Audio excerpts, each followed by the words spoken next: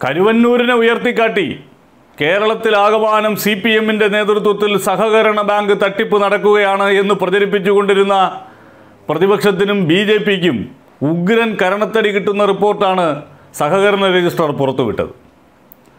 തട്ടിപ്പ് നടക്കുന്ന സഹകരണ ബാങ്കുകളിൽ ഇരുന്നൂറ്റി രണ്ടെണ്ണവും യു ഡി എഫിന്റെ കൈവശമുള്ളത്. സി പി എം ഭരിക്കുന്നത് അറുപത്തിമൂന്നെണ്ണം മാത്രമാണ്. പത്ത് സഹകരണ ബാങ്കുകൾ സംസ്ഥാനത്ത് ഭരിക്കുന്ന ബി ജെ പി. അതിൽ ഏഴെണ്ണത്തിലും വമ്പൻ ക്രമക്കേടുകൾ കണ്ടെത്തിയിരിക്കുന്നു. അപ്പോൾ കരുവന്നൂരിൽ മാത്രം ഇ ഡി വന്നാൽ മതിയോ എന്നുള്ള ചോദ്യം ഉയരുകയാണ്. ബി ജെ പി ഭരിക്കുന്ന പത്ത് സഹകരണ ബാങ്കുകളിൽ ഏഴെണ്ണത്തിലും അതായത് എഴുപത് ശതമാനം ക്രമക്കേട്.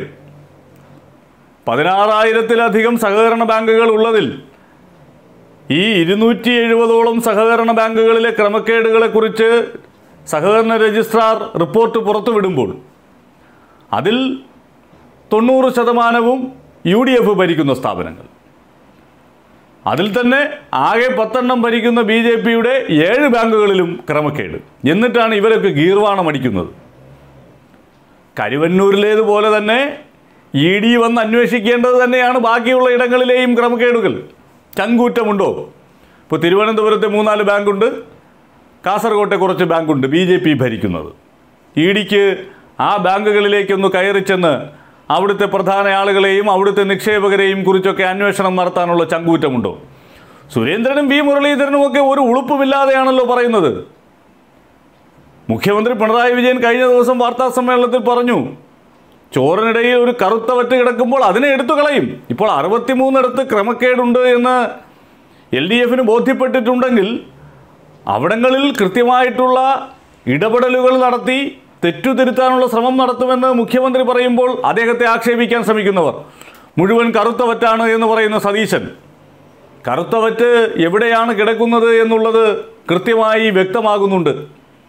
അങ്ങനെ കിടന്ന യു ഡി എഫുകാരുടെയും ബി ജെ പിക്കാരുടെയും മുന്നിലിരുന്ന പാത്രത്തിലെ കറുത്തവറ്റിൽ നിന്ന് തെറിച്ചു വീണ ചില കറുത്തവറ്റുകൾ മാത്രമേ എൽ ഡി എഫിന്റെ പാത്രത്തിലുള്ളൂ എന്നുള്ളതാണ് ഈ കണക്കുകൾ പുറത്തു വരുമ്പോൾ വ്യക്തമാകുന്നത്.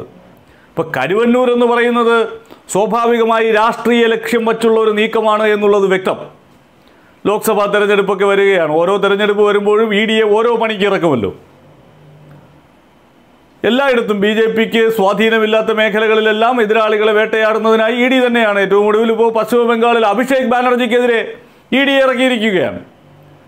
യഥാർത്ഥത്തിൽ കേരളത്തിൽ ഈ സഹകരണ ബാങ്ക് തട്ടിപ്പ് മുഴുവൻ എൽ ഡി എഫിന്റെയും സി പി എമ്മിന്റെയും മണ്ടയിൽ കൊണ്ടിടാൻ ശ്രമിക്കുന്നവർ.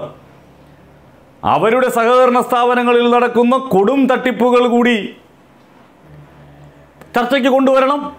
തെറ്റു ചെയ്തവരെ ശിക്ഷിക്കാൻ പാർട്ടി തലത്തിലെങ്കിലും തയ്യാറാകണം. ഇരുന്നൂറ്റി രണ്ടെണ്ണത്തിൽ യു ഡി എഫ് പത്തെണ്ണം ഭരിക്കുന്ന ബി ജെ പിക്ക് അതിൽ ഏഴിലും തട്ടിപ്പ്.